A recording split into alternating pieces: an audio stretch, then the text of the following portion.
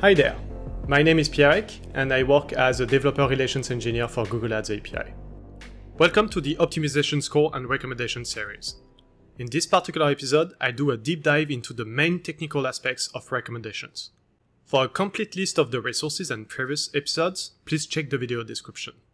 I will do some coding that requires a basic knowledge of Google Ads API reporting and Google Ads query language. Feel free to check our technical guides if you need a refresher. Alright, let's start with a quick reminder of what we already discussed in the first episode. Recommendations are shared to Google Ads users and they represent changes that can be applied to optimize the performance of campaigns. There are several types of recommendations and they evolve over time. New ones may be added, obsolete ones may be removed, and others may be upgraded. All recommendations are real-time, tailored to the account, and actionable. Typically, they can be used to automatically optimize the performance of accounts. So, how do we retrieve these recommendations using the Google Ads API? I prepared a few code examples to demonstrate it with the most common scenarios. Please note that I use the client library for PHP here, but the logic is exactly the same if you use another one. It is important to note that the Google Ads API supports only a subset of the recommendation types which are available through the UI. For all types though, including those that are not supported, we can get the uplift and URLs through reporting. An uplift tells how much the optimization score would increase if recommendations are applied. This is helpful to compare impact between recommendation types. A URL is a deep link to the Google Ads UI with information on recommendations. This is helpful to redirect users when recommendations are not supported. Both the uplifts and the URLs are retrieved like most other types of information, using the search methods of the Google Ads service. This type of execution can be split into four steps the authentication, the construction of the GAQL query, the call to the API, and the extraction and use of the data from the API response. We will focus on the steps number 2 and 4 here. Uplift and redirect URLs are exposed at two levels, customer and campaign. Here, we assume that we want to retrieve those associated with a serving customer. To do this, we need to use the customer resource type in the from clause of the query. As usual, we can select the eligible fields for this resource type. To retrieve and print the uplift of the customer, we need to add the field optimization score uplift in the select clause and extract it from the results like any other field. If I execute this for a serving customer, the uplift in the result is the same as in the Google Ads UI. In this particular case, the uplift is at 20% when the current optimization score is at 80% we get a total of 100% as expected. In this other example, we retrieve and print the URL. This time, we use the field optimization score URL. If I execute it for a serving customer, I am getting one URL in the result. It leads to the page that shows all the recommendations of the account. In this other example, we get both the uplift and the URLs for the customer segmented by recommendation type. If I execute it for serving customer, we now get results for two recommendation types, keyword and site link extension. The URLs redirect to pages that contain all the account recommendations of these types, and the uplift found for these recommendation types are 10 and 11%. Here are the full details. You may have noticed that the sum of the two uplifts and the recommendation score of the customer is greater than 1, this is because uplifts are approximations. They are calculated individually for all recommendations, and the combined effect of implementing recommendations may not be a strict sum of each individual uplift in isolation, but it should be close. Alright, now, what about getting the uplifts and URLs at the campaign level? Well, as you can see in this code example, the overall logic is pretty similar. The main difference is that we need to search for campaigns instead of customers. Let's execute it again with the same serving customer. Now we get one result per combination of campaign and recommendation type. In this particular case, we get results for two campaigns. Both of them have keyword recommendations, so the uplift that was 10% at the customer level is now split between the two campaigns.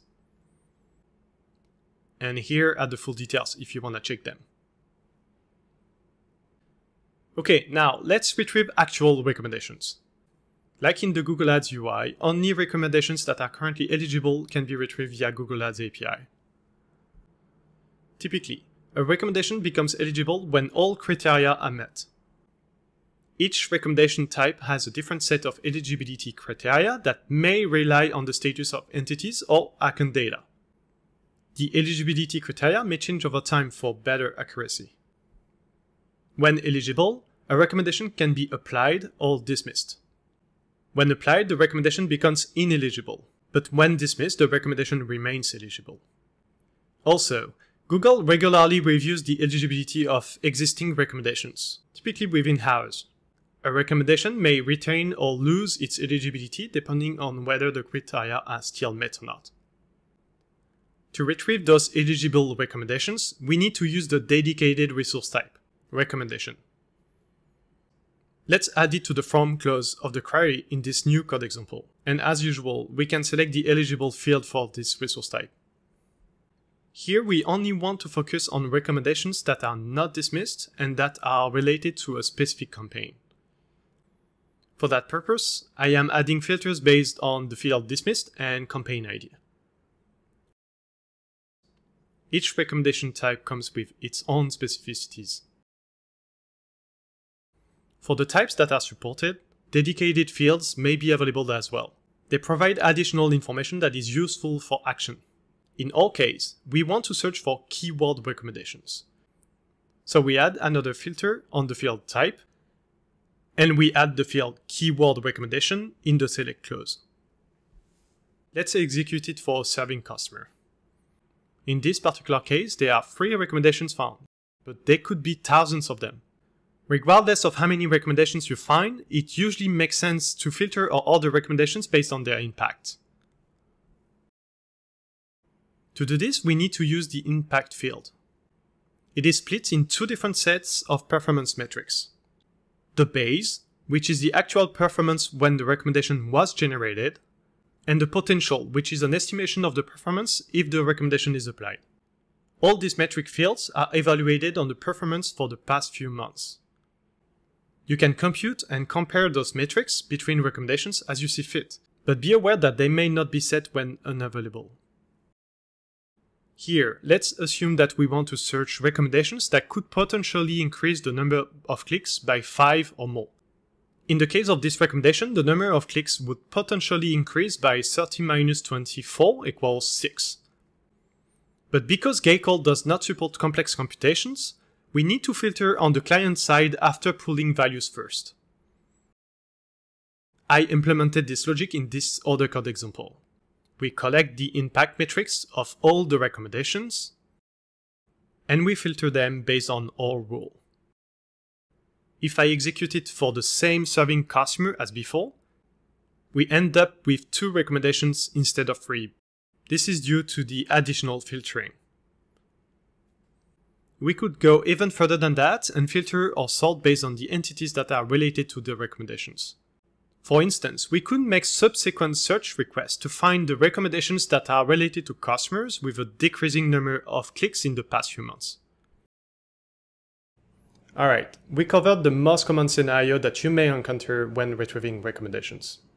Let's take a step back and quickly summarize the key technical facts.